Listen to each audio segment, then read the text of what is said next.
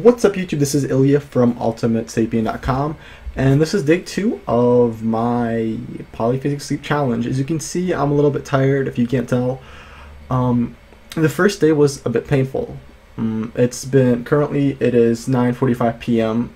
on the second day and I took my first nap yesterday at um, about 10 p.m and since then I've only gotten sleep in like 20 25 probably 25 minute periods.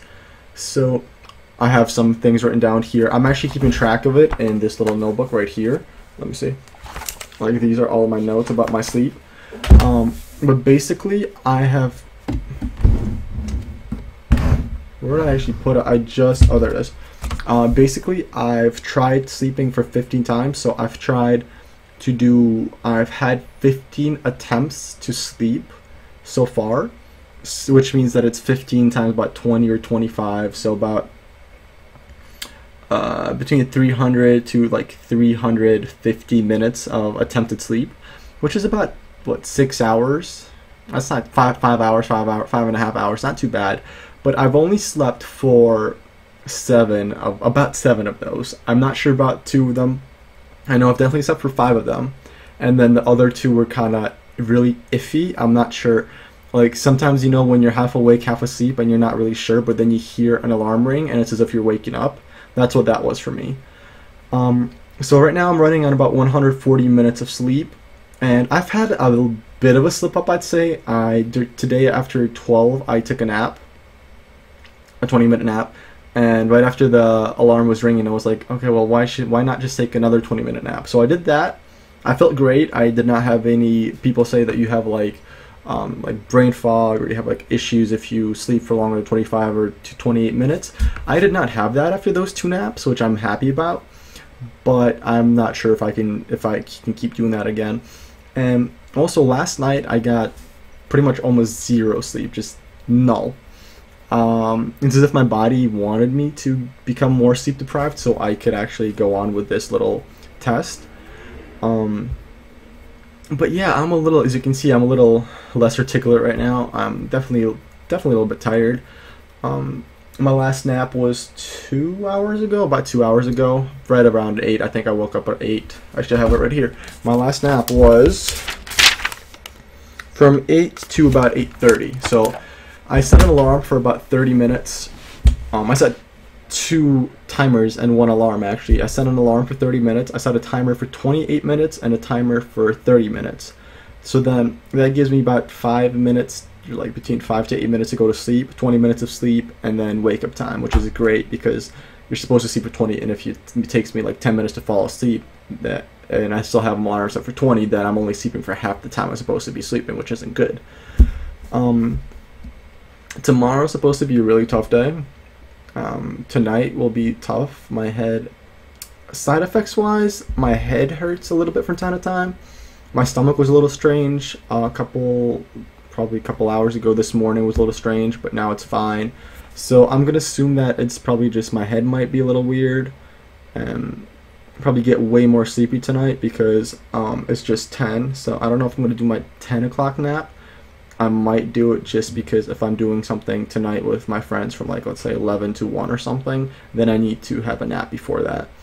Um, and I'm also considering increasing my break between naps because 25 minutes is it's tough. I don't think it's gonna work that well. It might, but I think like 30 to 35 minutes is better. So then it will end up being like 35 minutes of break and then 25 minutes of sleep. So that's just an hour. So then from let's say 12 to 7, I'll get 7 of those, which isn't bad. I'll have to get 2 or 3 more during the day, but I think that's doable. Um, I have a little, nice little setup where I just have earplugs and I connect them to here. I kind of pull, pull the cord through my shirt and like I put them in my ears and then the alarm plays through the ears. So if I like need to sleep somewhere else, the alarm's not going to disturb anyone else, which is quite nice. Um, last night was really tough. Um, I tried. I'm sleeping currently like on this little blanket here, or under that blanket, but not actually under my actual blanket. And I leave one of the lights on. I do put a face mask on, but I leave the light on just so like when I wake up, I can take the face mask off, and there's the light that will wake me up. Um, and I use the headphones to block out a little bit of the sound, which is good because the dorm can be quite loud at times. Um, but yeah, yesterday I tried with AC, with no AC, different headphones, sleep mask, no sleep mask, uh, lights on, lights off. I've tried a lot of things, and last night I just could not fall asleep. So I'm hoping that this night will be different because now I'm definitely more tired. Um, other than that, yeah, I don't really. I definitely feel that my mental capacity is a little bit slower, and tonight I just laughed at some things that made no sense. But compared to people who I know had what, about three hours of sleep or four hours of sleep per night, maybe five hours of sleep per night for the past week, I seem to be functioning better than them as of right now. After tonight, I'm not sure. I've heard after reading Rasmus's uh, forum, uh, he said that um, he said that it t- took him like if you start Friday is a great, great time to start because well I did Thursday to Friday because like Friday you can start then like if you fuck up the night before um, from the night from Friday to Saturday you still have like the whole Saturday to sleep and Saturday to Sunday you can sort of correct that and then Sunday to you can correct that on Sunday and then Sunday to Monday you should be a little bit better because it's already past the third day so I did Thursday Friday end of my first days on Friday End of my second day will be Saturday. End of my third day will be Sunday. So after Sunday, I should hopefully be somewhat functioning. I'd say that I'm about 60% or maybe 60 70% of my normal monophasic self. I can still focus, I can still accomplish things. It's just slower and it's just not as effective at all. It's just it's somewhat sad, honestly. Um, but I can still focus, I can still do work and since I have more time to do this the same amount of work, it somewhat evens out at this point. So like if I had this much work before and I had this much time to do it, I could accomplish it in that time. And now I have the same amount of work, but now I have this much time to do it, and I can still accomplish it, but still in this amount of time because I'm working slower.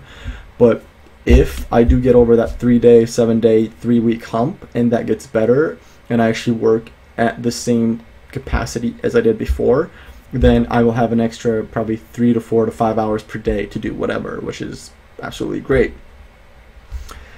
A couple issues though, I do have a lot of homework due Monday and Tuesday, so um, I'm just going to be working on that between naps. I'm going to be working on some of my business stuff, but I have a, a five page, three to five page essay due. I have to decipher an Egyptian text. I have some programming things to do. I have to do some business things and I have like a bunch of college related stuff. So this should be interesting. I'm still not too bad right now. I think that this will, you know, I think that if this works, it will definitely be worth it.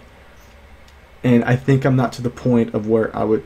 Yet last night I sort of started considering giving up after I couldn't fall asleep after like three naps. But then I was like, why give up now? Why not just go through with it? So that's what I did. Um, today I haven't thought about giving up at all.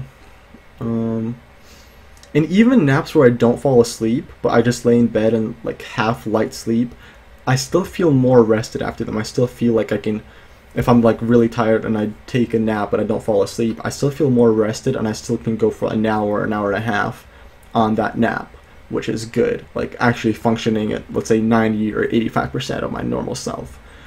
Um, but the farther away from a nap I am, the like it just goes down, down, down, down, down. So like this is me like right like right after a nap. I'm right down here. I'm probably at about forty percent or thirty percent of my monophasic self, and that lasts for ten minutes, and then it goes up, up, up to like ninety percent, right, right here, and then it stays there for let's say thirty minutes to an hour, depending on how tired I am, and then it just slowly goes down.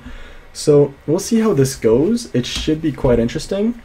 Um, other than that, I really don't have anything to say. There will be a blog post about this if you know you know you don't like listening to me blab on for like it's 10 minutes already. Um, but I'll be doing blog posts, I'll be doing videos, so just pick whichever one you like or watch both, you know, why not? Um, and there'll be a little bit of different information in both of them. But yeah, that's pretty much it for day two, or day, day two, I wish. For day one, day two starting and well, technically it's starting for me in five minutes if I take my nap. And if not, it'll start in two hours. But yeah, I will continue posting these and just see what you know what happens. So subscribe to my channel, please. No, either way, you know, whatever. You don't have to subscribe, but if you do, you'll get some cool stuff like videos like this in your inbox, possibly. I don't know how YouTube works at this point. And you will get to, you know, see my beautiful face almost every day because I'll be posting these videos every day. So if you want me in your inbox every day, subscribe.